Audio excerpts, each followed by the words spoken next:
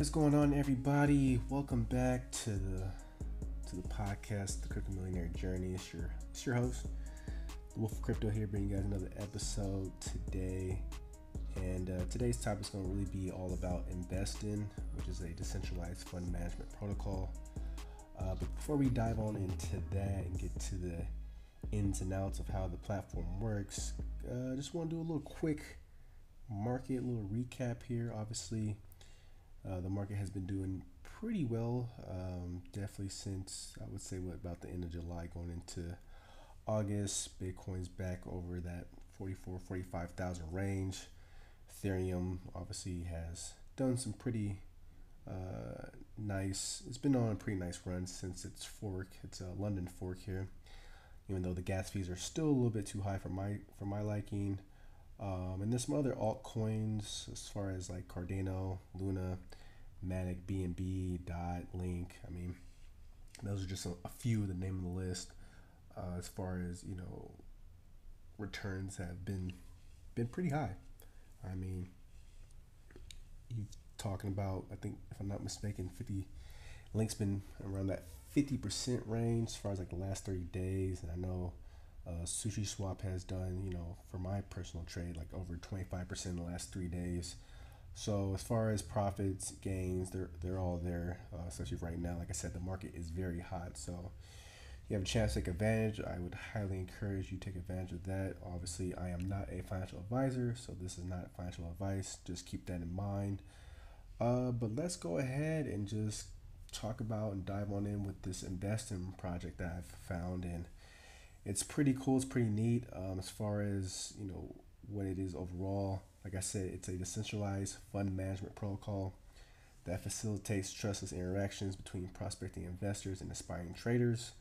Uh, the protocol provides an open market for investors and traders to exchange their offering in a trustless and non-custodial environment. Both parties need not to worry about the custodial of assets or management. And uh, obviously, one of the reasons why I want to talk about this today is because you guys know, and those for you that might be new to the show, um, I am a trader. I do uh, I do all my own all my own trades. I do have a trading robot experience as well. You know, I've built some trading robots. Currently, actually building some right now. Uh, and then as far as the fund management part, uh, I do do that as well.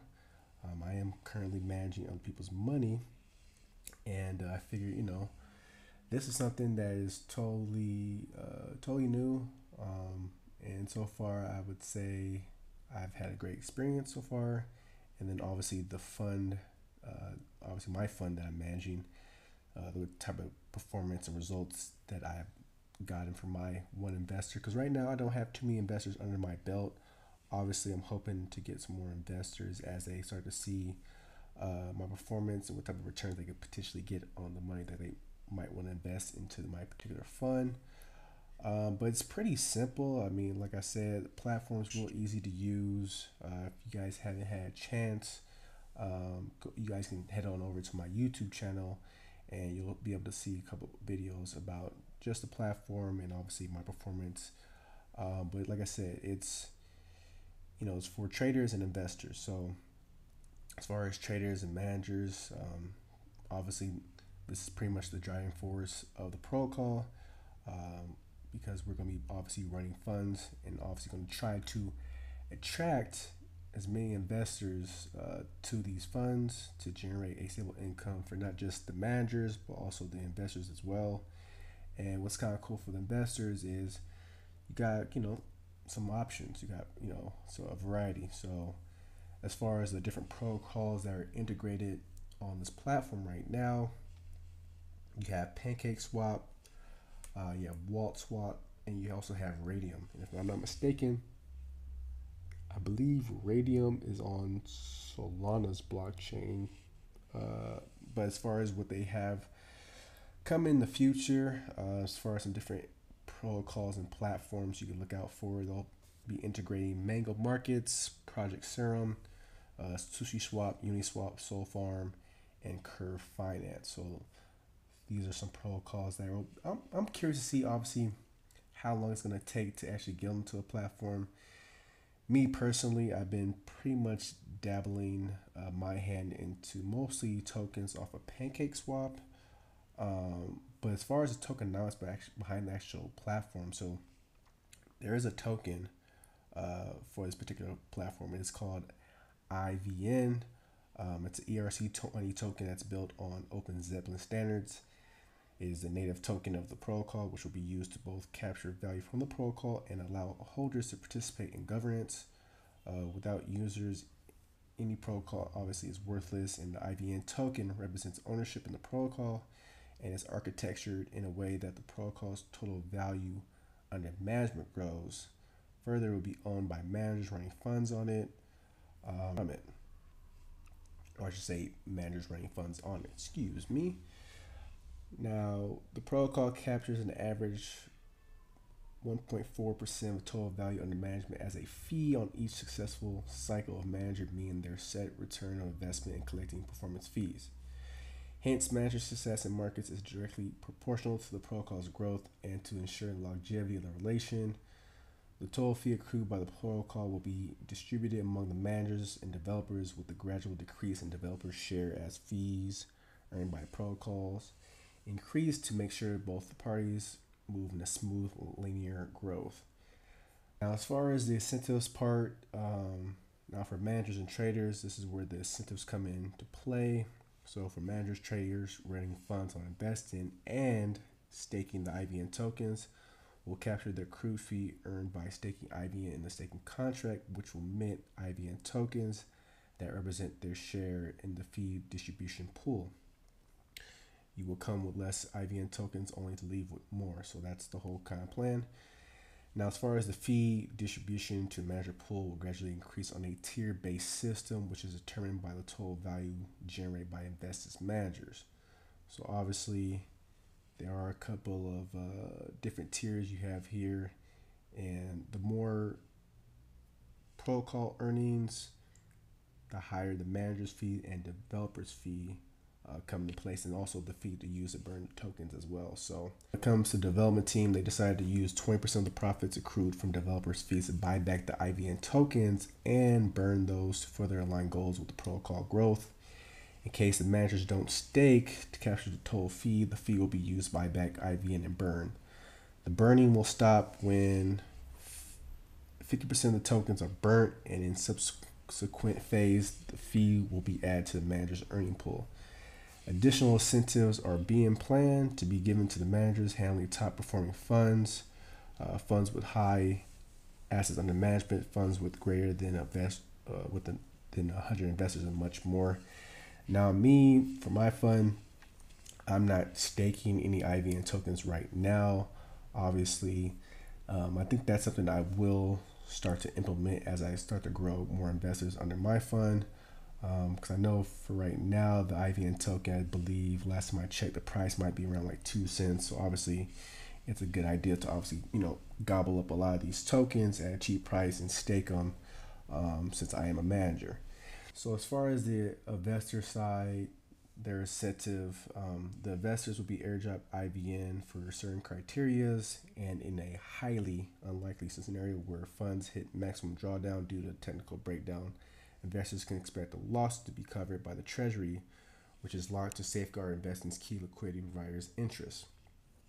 10% of the IVN are locked as insurance for investor funds, and as the total value under management grows, the Treasury will be replenished with a basket of different assets to protect all users' interests. So I would say those of you that like to be part of a governance type of token or just type of project or just governance in general, uh, these are some of the kind of things that you will be able to participate in if you are a IVN token holder. Um, they do believe that the IVN tokens will be the vehicle to drive the alignment and participation in this particular protocol. Uh, now, these token holders obviously will be people who want to interact with the protocol in some way. Uh, they're committed to its future development and also obviously want to see at the governance table, being able to you know vote on certain decisions um, some of those examples could be implementing new functionalities, uh, introducing changes to the protocol level fees, um, basically anything that they feel uh, that they want to see on the platform and get reviewed, uh, all these IVN different token holders will have the the chance to kind of go ahead and be a part of that. Now, as far as my particular fund and uh, the performance it's done so far, because my fund has been up and running for about almost a full, it'll be almost a full two months. Uh, the next about what two weeks or so, and um, my current performance right now it's at 48.37% assets under management right now is at under 45 binance usd because binance usd is the particular um, coin that you will use to invest into these different funds that they have to offer. Now i haven't hit the threshold quite yet as far as the claimable fee goes. Um, still gotta um, do a couple more trades here and get that performance up. But like I said, for my fund, for it to be basically almost at 50% uh, type of performance within almost two months is not too bad. And what's also kind of cool too is you can compare um, all these different funds. So you do have plenty of options to choose from as far as funds on different platforms. Like I was saying, you know, you have Pancake Swap, you have Wault Swap, and they also add this new one which is uh, called DeFi Funds. Still got to do some research on that one. But right now, if you were to come on Pancake Swap and you want to, you know, look at which funds are doing uh, the best, uh, my fund right now is currently at number two. And my stipulations, as far as my fund, in case you want to invest in mine, um, the minimum investment amount is going to be $100. Um, I just feel like you know, that's not too much, but it's enough to get some decent, I would say, you know, some type of decent returns, right? Uh, because with this particular platform, um, there are no like limit orders, so you can't just come in here and just you know place a little limit order, have it trade, buy, sell, and all that. You actually have to do a lot of this manually, which is kind of interesting. And I'm hoping to see maybe in the future uh, that they will add a limit order uh, process to this platform if that is possible. Uh, just would make it things a little bit easier. Um, but you know, like I said, I don't mind coming in here. So like I said, uh, my all-time performance right now is at 48.37%. Last week up about 13.13%, which is, you know, not too shabby. And then as far as my performance fee, it's at 40%, management fees at 2% and minimum return that I am offering to uh, my clients or investors is going to be 20%. So um, they do have a farming. Uh, I think that's where you will benefit from the being a token holder. But right now, the farms are closed. Um, they're going to be live on Solana pretty soon, not quite sure when, but you know that's something that obviously I'll be following along because again, I think this is where you will go ahead and be able to get some of your investing tokens by participating in the pool. And they do have a pool for investing managers and investors, and they have a pool for a uh, IVN holder. So the APOIs are are different for each pool, and like I said, that's something that you'll obviously be able to participate in hopefully in the next couple of months. Um, but like I said, it's it's real easy as far as you know being a manager. Um, investors come on in, they invest their money. Then from there, you pretty much just take their money and you can go ahead and start trading in the trading terminal. And it's kind of interesting. Um, some of these coins are already available as far as you know some of the assets that you want to already trade with and then there's a token list where you basically have to come and you have to approve each token. And it's going to cost you some gas, you know, not too much gas, but um, that is something that you have to use and go ahead and approve the tokens that you want to obviously trade with. Now, my assets, you know, I'm I've been dabbling with Venus, Cake, uh, Bitcoin, and ETH. Um, definitely want to dabble on into these other coins, and I'm also want to dabble into the other uh, particular platform, which is Wault Swap, because I think uh, Wault Finance and some of their tokens, especially their native token, uh, has some potential to you know make some easy and not just easy gains, but some big gains as well. Because those are coins that, like I said, I have a lot of coins on my list, guys. I'm constantly always in the space looking for um, different coins you know keep in your back pocket, keep on your watch, because you just never know. Uh, especially when they're very very cheap. We're talking about like pennies and some coins that are not even pennies quite yet, but that's where all your trading comes down. Everything, like I said, uh, Binance USD is pretty much the base coin. And then from there, you can go ahead and select which coin you want to trade with. Obviously, each coin that you're trading with. And like I said, they have uh, this new fund strategies tab that has popped up. Not too familiar on that. Obviously, this is something I got to do some research on and kind of look into this. But it looks pretty neat. Um, looks like you'll be able to stake, lend, and borrow. So again, this is something that I'll be adding to my homework as far as figuring out, you know, the what the best ways to kind of take advantage of this. And I'm not sure if there's something that uh, on the manager side I'll be able to create for investors or do investors make their own fund. Like I said, this is something that I gotta look on into, but overall, from my experience so far, um, really can't complain. Obviously, I want to get some more investors into my fund because I mean, you guys have heard here from yourselves. Uh, performance has been has been rocking. So we're talking about almost fifty percent in uh, less than almost basically two months off of uh, the one hundred dollars that you know that investor. I don't know who it is, obviously, because everything's just centralized. So whoever that investor is who invested their hundred dollars, you know, hey, they are getting a nice return on their investment. Um, obviously, gonna try to get to at least a hundred percent, maybe the next what two months or so. I mean, obviously, this all depends on the market, but I gotta say, for those of you um, that haven't heard of Investin, I would highly suggest that you check it out, especially if you happen to already, you know, manage funds for other people. This is something that obviously that would be pretty appealing to you. And then for those of you that want to invest, um, hey, check it out as well. Because like I said, this is not your it's not your standard typical market. Um, we are talking about you know basically DeFi protocols here, so that's something that you gotta keep in mind. But that's going to wrap it up as far as this episode goes on the crypto millionaire journey. Appreciate you guys tuning in listening. Hope hope you guys are learning something. Hope you guys are enjoying it. Um, definitely got a lot more in store for you guys as far as different projects right now.